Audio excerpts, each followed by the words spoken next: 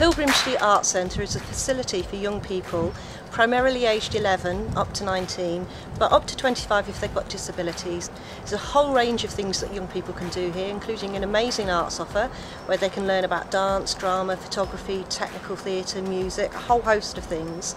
And in addition to that, we have a range of other projects as well, including life skills, um, youth voice group, and other services such as response, Glow CIC, um, and outreach and detached team. The Accelerator grant was spent on really developing the identity of the centre. As you can see, we've got an amazing frontage now that is unique to us and that young people can see and, and have a sense of ownership. We also spent quite a bit of money on um, getting some pods, which are for social spaces for young people, and then some money was spent on a photographic exhibition called In Our Hands, which is displayed around the building.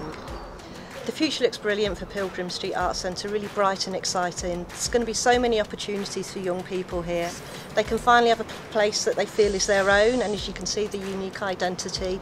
Um, that kind of gives them a sense of pride and value within our communities.